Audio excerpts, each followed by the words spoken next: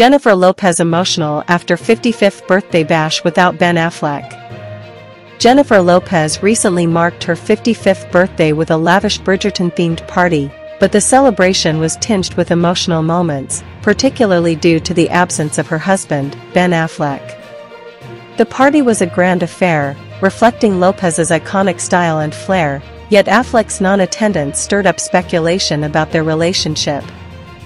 Following the birthday bash, Lopez took to Instagram to express her heartfelt gratitude to her fans, who played a significant role in making her day memorable.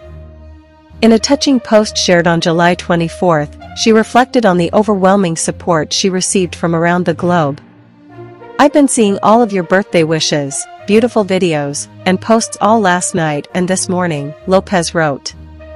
I have laughed, smiled, shed some tears, and when I saw the billboard in Times Square, I was completely overwhelmed. Lopez's heartfelt message conveyed just how much the support from her fans meant to her.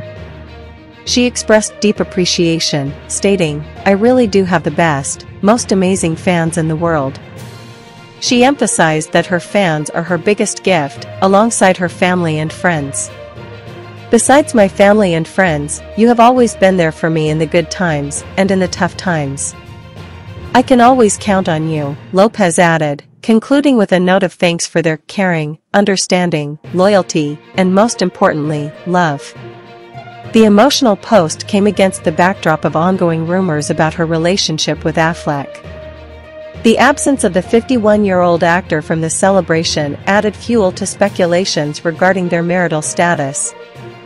Despite the buzz surrounding her personal life, Lopez's birthday was a testament to the strong bond she shares with her fans, who were a beacon of support and joy on her special day.